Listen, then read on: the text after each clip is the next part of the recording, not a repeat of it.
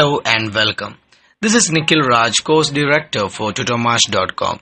Today our lesson is Enterprise Project Structure or EPS. The Enterprise Project Structure or EPS forms the hierarchical structure of your database of projects. Each EPS node or folder can be subdivided into multiple levels to represent the work that needs to be done in your organization. Here you can see the organization which I work in called as Navic Solution which has two major departments called as construction and training. Construction is again divided to high-rise building and building construction and training department is divided to civil and project management. Now let's see how this EPS is created in Primavera.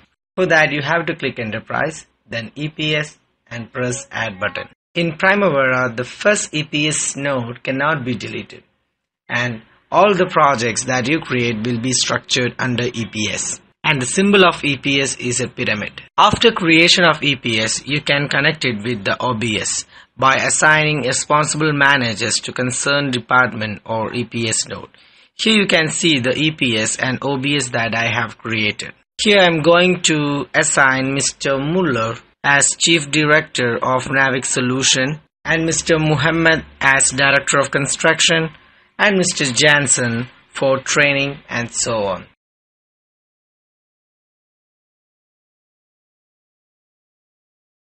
Now let's open Primavera and see how is it done.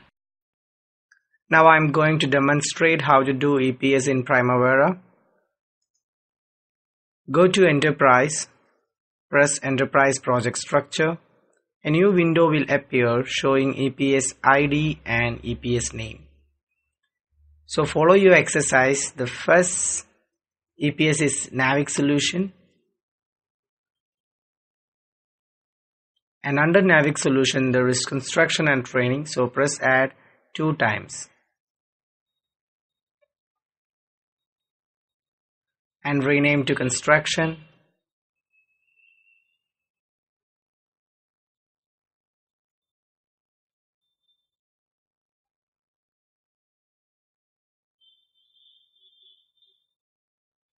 and training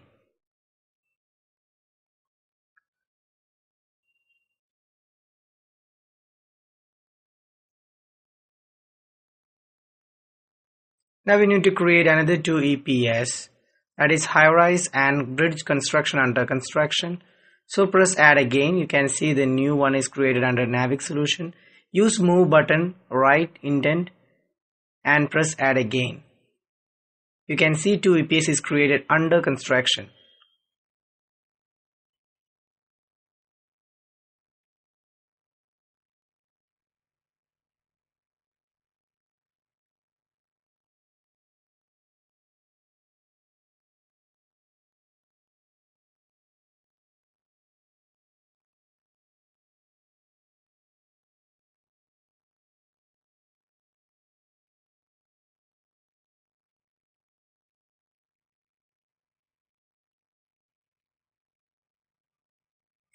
Use the same methodology to create EPS under training.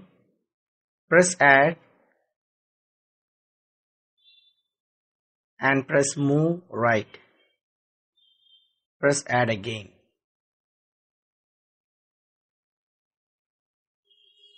Rename to civil and project management.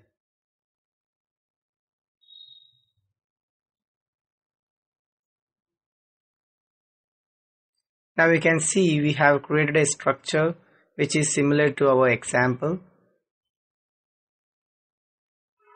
If we want to display it to the chart view, you can press display and press chart view. You can see it is created.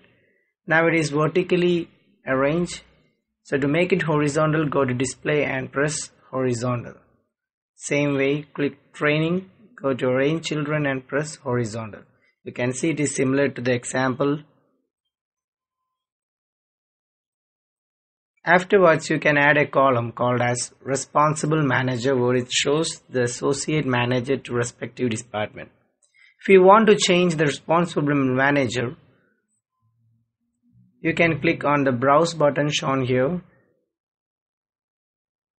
and assign a responsible manager from the OBS that you have already created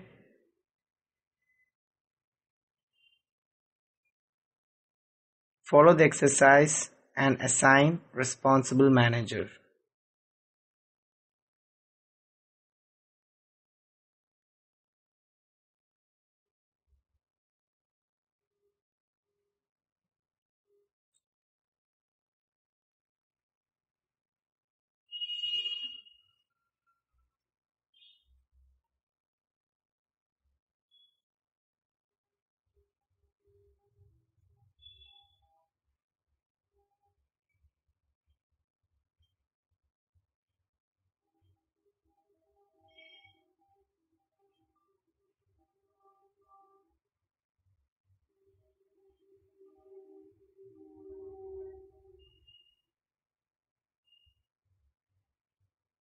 So that's done.